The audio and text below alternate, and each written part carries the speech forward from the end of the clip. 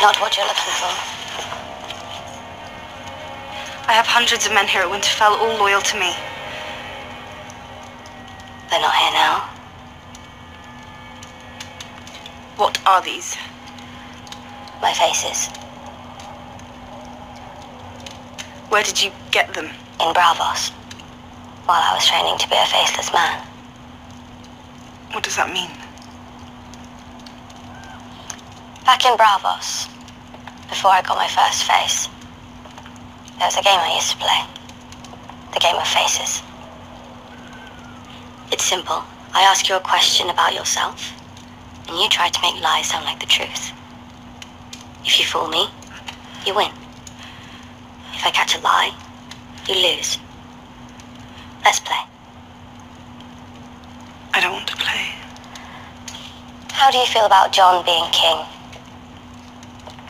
Is there someone else you think should rule the North instead of him? Those faces. What are they? You want to do the asking? Are you sure?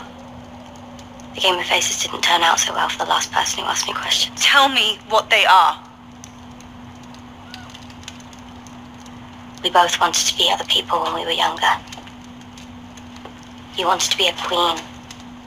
To sit next to a handsome young king on the Iron Throne. I wanted to be a knight. To pick up a sword like father and go off to battle. Neither of us got to be the other person, did we?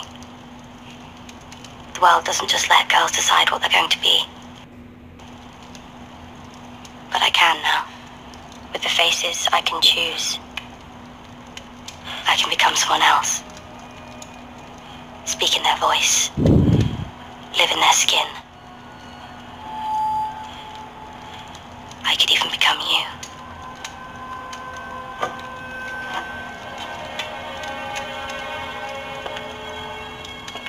I wonder what it would feel like to wear those pretty dresses.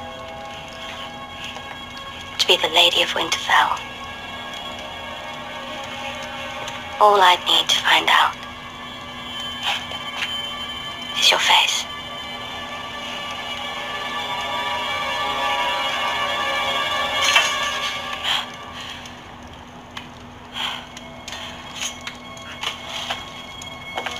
you.